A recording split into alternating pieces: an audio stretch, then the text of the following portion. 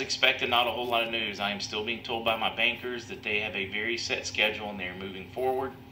Um, so I didn't expect a whole lot of news. I did take the time to read some of the boards, which is a very rare thing for, for, for me.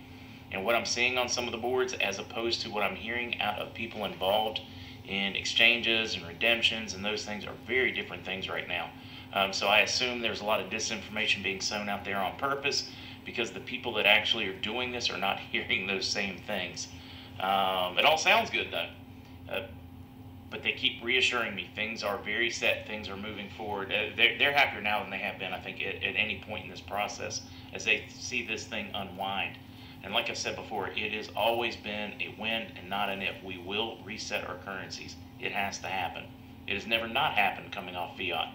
Uh, if we somehow manage to come up with a magical magical way of kicking the can down the road, guys, uh, we would be defying all laws of economics. I am not worried about it. It is an if, excuse me, it's a when and not an if. So just try to hang tight. The news has been solid. We still have bond people sitting in Europe with no redemption yet, no money moved, um, as they sit at the table, prepared and waiting. Hopefully they will see it sooner than later. And no, Larry, I did not see any uh, any information posted this morning. I took the time to read the boards late last night.